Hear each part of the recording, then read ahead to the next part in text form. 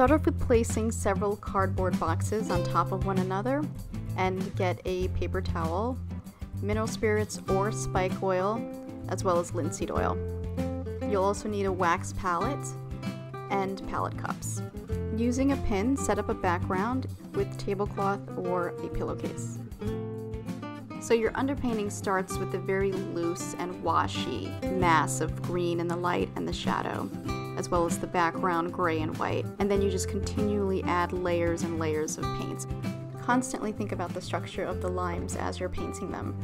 So you really want to avoid making them look like egg shapes, too smooth or too round.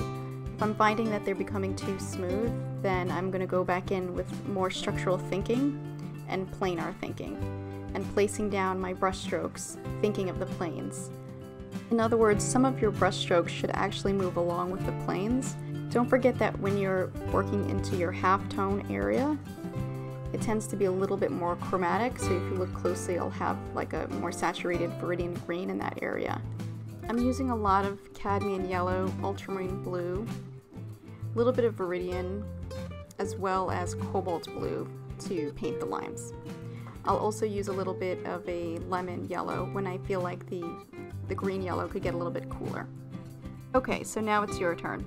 Set up your canvas to the left of your limes and prop everything up so that they are eye level, just like this example.